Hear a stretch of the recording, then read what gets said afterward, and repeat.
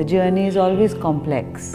It's not difficult or easy, but it's complex. It's been a very eventful journey. It would, there is nothing that uh, I could have done differently because I wouldn't arrive at the same spot. I started practicing in design, in interior architecture. Soft design never interested me. And being schooled in an architectural office, it was natural that you do interior architecture. When I met Naveen, I said, I'm doing this and I really would like to start a product based business. He came up with Paradox and I came up with the Casa. It's an extension of our persona.